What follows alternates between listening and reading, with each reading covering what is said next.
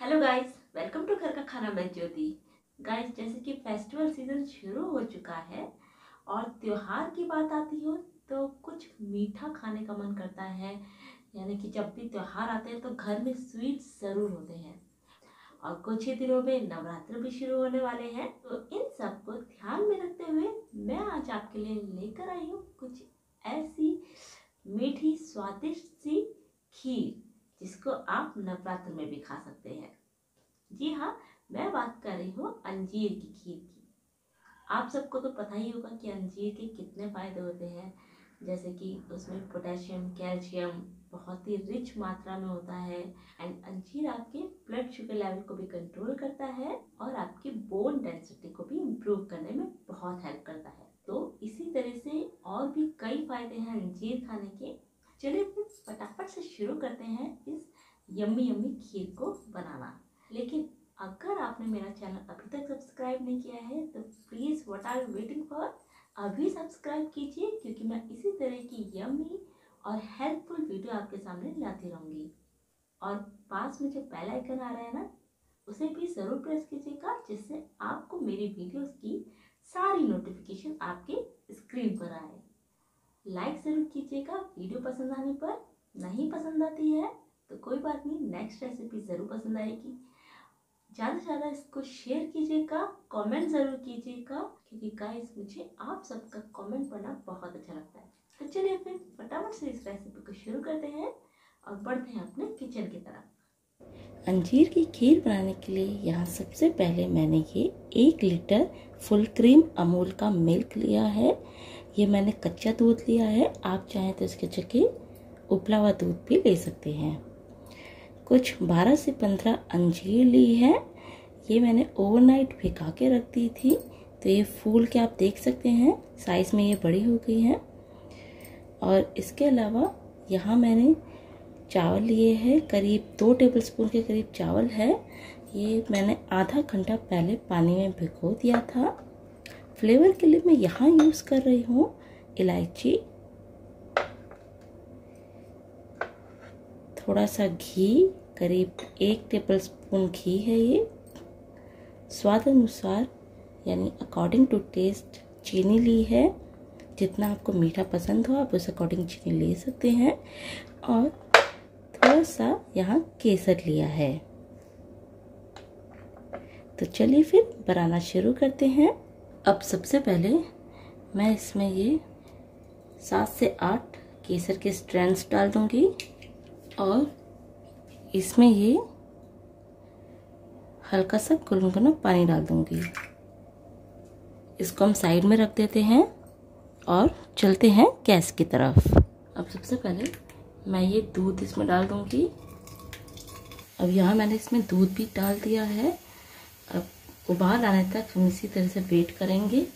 जब तक इसमें उबाल आ रहा है, हम दूसरी तरफ़ ये जो हमने फिग लिए थे इसमें से मैं चार पाँच फिग बचा दूँगी और बाकी का मैं पेस्ट बना लूँगी।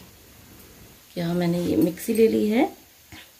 इसमें मैं एक फिग के दो पीस करके डाल दूँगी ताकि ये अच्छे से पेस्ट बन जाए इसका।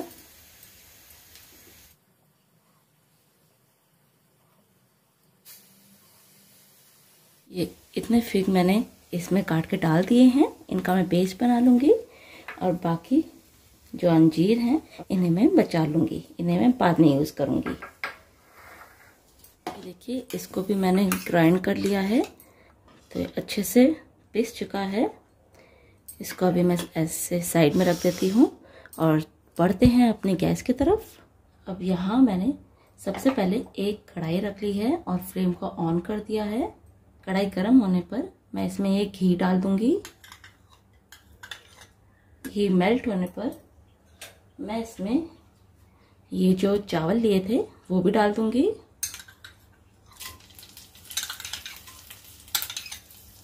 अब इन्हें अच्छे से रोस्ट कर लेंगे।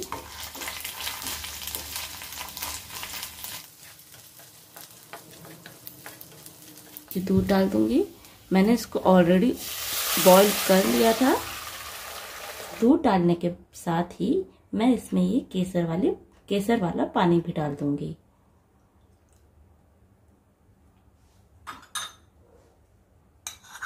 ये जो इसकी स्ट्रेंथ है, ये भी इसमें डाल दूँगी।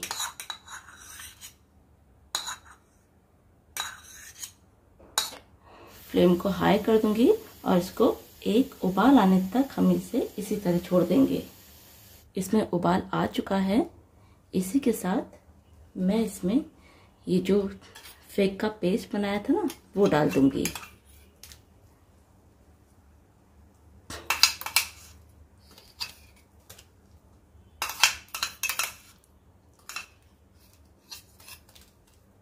अब इसको अच्छे से हिला देंगे और अच्छे से इसको पकाएँगे।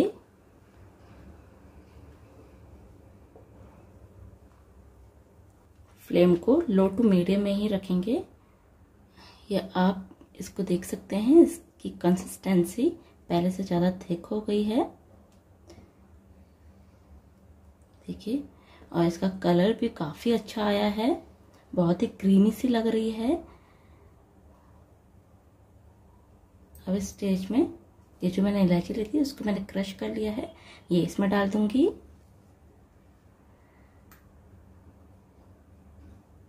आपको अगर इलायची का फ्लेवर पसंद नहीं है तो आप वो स्किप भी कर सकते हैं। हिला लेंगे अच्छे से।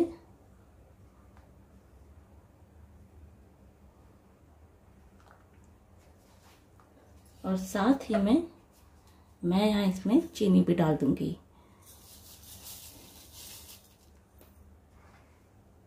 जितना मीठा खाना आपको पसंद है, आप उस अकॉर्डिंग चीनी डालिए। अच्छे से हिला लेंगे। और साइड में जो भी मलाई इसकी जम रही है, वो भी स्क्रैप करते रहेंगे।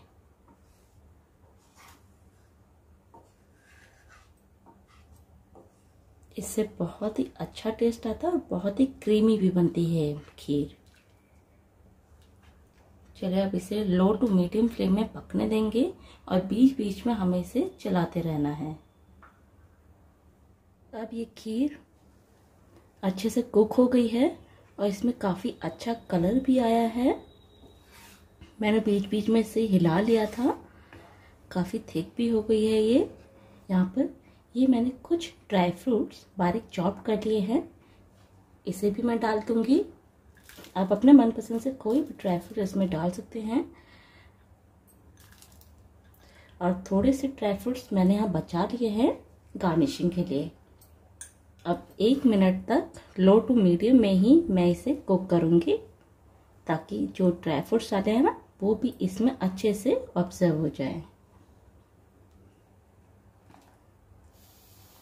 आपने काफ़ी सारी खीर ट्राई की होंगी, लेकिन आप ये अंजीर की खीर बनाइए, अपनी फैमिली को खिलाइए फ्रेंड्स को खिलाइए। यकीन मानिए, सबको ये खीर बहुत ही ज़्यादा पसंद आने वाली है। गाइस एक मिनट भी हो चुका है और ये खीर बनकर रेडी हो गई है। तो यहाँ मैं ये फ्लेम भी बंद कर दूँगी। चलिए, अब हम इसे सर्व करते हैं। अब इसको मैं ये सर्विंग बॉल में निकाल लूँगी।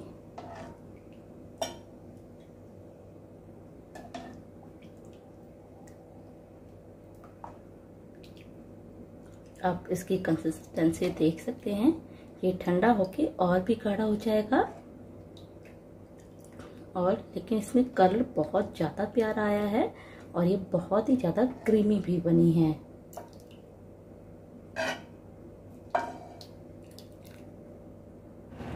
अब मैंने ये खीर सर्विंग बॉल में निकाल ली है। थोड़ी सी खीर बच गई थी तो मैंने इस कप में निकाल ली है। डेकोरेशन के लिए मैं इसमें यहाँ थोड़े से ड्राई फ्रूट्स डाल दूँगी।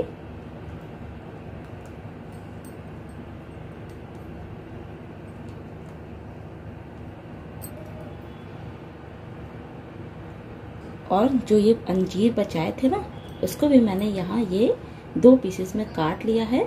वो भी इसमें डाल दूँगी। आप डेकोरेशन के लिए अपने हिसाब से कोई भी ड्राई फ्रूट्स अपने मनपसंद के ले सकते हैं।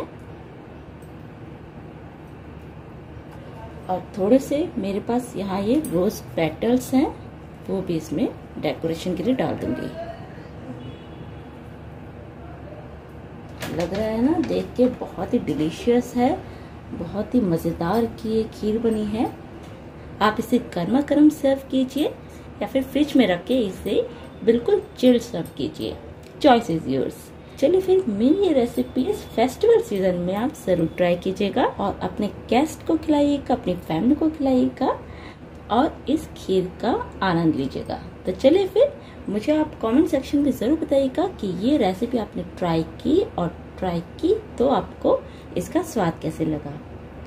मिलते हैं एक और नई और सरल रेसिपी के साथ। Thank you